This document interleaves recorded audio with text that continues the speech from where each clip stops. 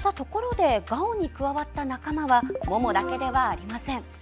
新しい命が誕生し今しか見られない可愛らしい姿で訪れた人たちを魅了しています。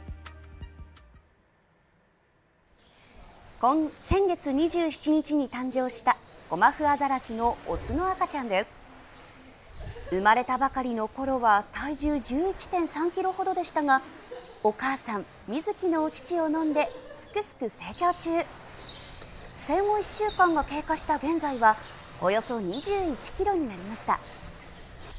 お母さんに教えてもらいながら泳ぎの練習をする姿も見られました。今はもふもふの真っ白な毛に覆われていますが生後23週間で生え変わりごま模様になります。今しか見られない可愛らしい姿から目が離せません。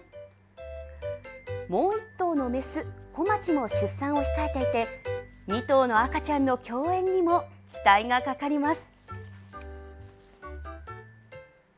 小町の出産は今月中旬頃の見込みだということです。またペンギンも産卵しヒナの誕生は間もなくということですのでガウはベビーラッシュとなりそうです。